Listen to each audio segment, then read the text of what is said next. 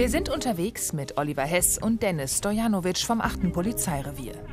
Die Nacht hat gerade erst angefangen und schon kommt ein Hilferuf per Telefon. Einer, der für die Polizisten gefährlich sein kann.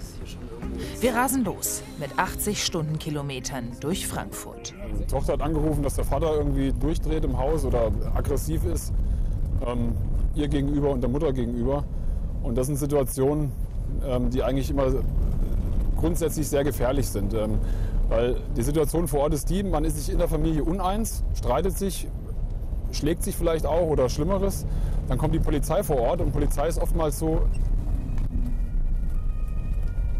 Polizei ist oftmals dann, äh, ja, wie soll ich sagen, der, das Ventil oder der, der Magnet, der dann die geballte Aggression auf sich zieht.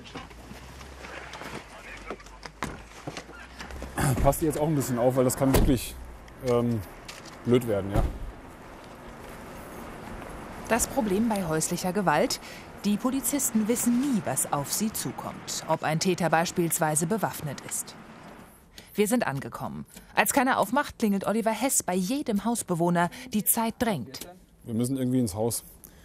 Und notfalls müssen uns die Nachbarn reinlassen, dass wir erstmal bis an die Wohnungstür kommen. Okay, Obacht. Ganz oben wahrscheinlich. Es ist die Wohnung ganz oben.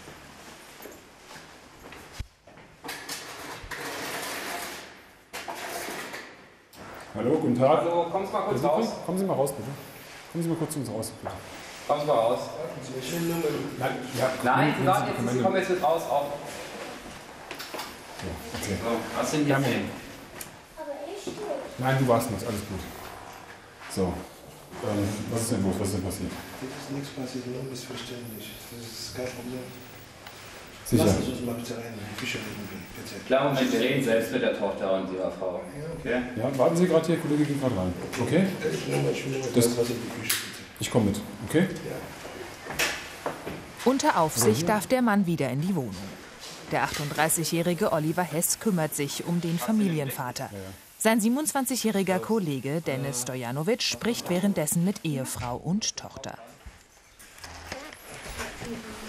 Alle werden angehört und über ihre Rechte und Pflichten aufgeklärt. Von Gewalt ist erstmal keine Spur. So.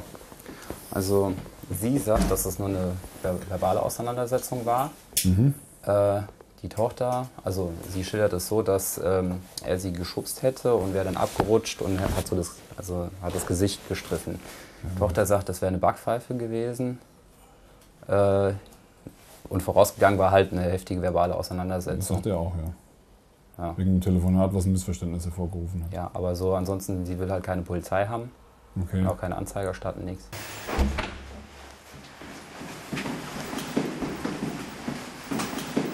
Der Herr hat jetzt auch gesagt, er geht erstmal raus, bisschen frische Luft schnappen, bisschen Stimmung entspannen. Und ähm, wir haben jetzt eigentlich keine Anhaltspunkte, dass es irgendwie jetzt zu Straftaten gekommen wäre. Es ist niemand verletzt worden, es ist keiner geschlagen worden. Und insofern äh, ist für uns jetzt hier auch der Einsatz erstmal beendet. Dieser Fall ist glimpflich abgelaufen. Kaum im Auto kommt schon der nächste. Ein Verkehrsunfall. Taxi gegen Smart. Niemand will schuld sein. Wie immer.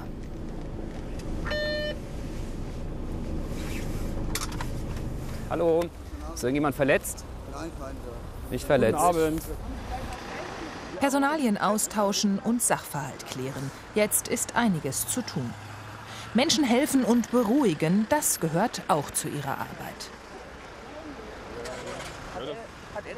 Ihr Job ist es jetzt im Prinzip, die Versicherung anzurufen. Teilen Sie das mit, was passiert ist. Ja, Ihre Sicht der Dinge, das nehmen die dann gleich auf. Sagen Sie auch ähm, die Daten von dem Herrn als Fahrer von dem anderen Fahrzeug. Und von der Versicherung kommt dann alles weitere, was Sie machen müssen, welche Werkstatt hin und her. Und dann wird das geregelt. Keine Verletzten, beide Autos können noch fahren. Nach 15 Minuten ist alles geregelt.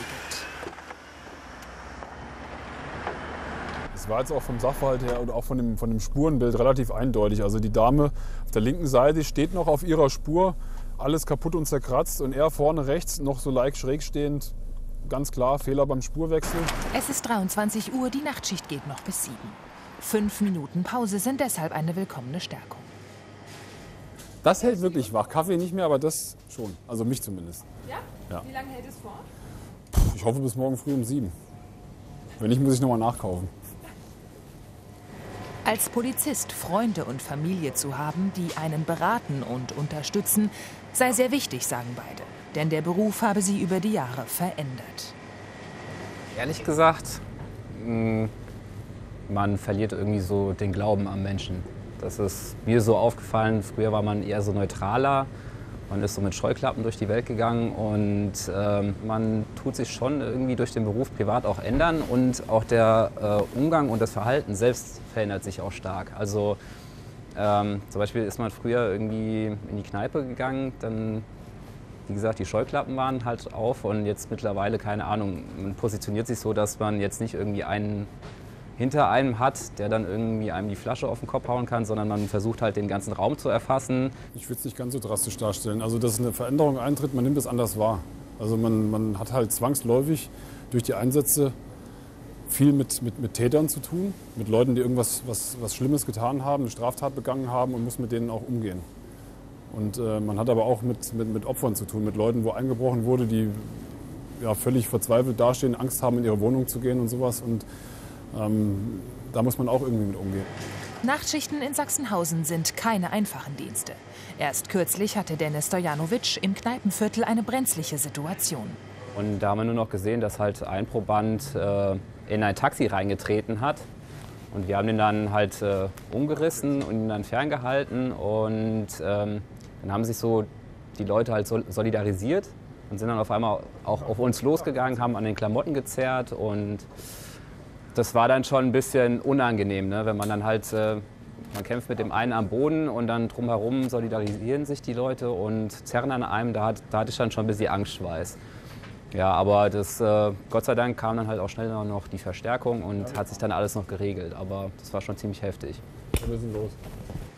Per Ohrstöpsel kommt der nächste Einsatz aus der Zentrale. Und morgen.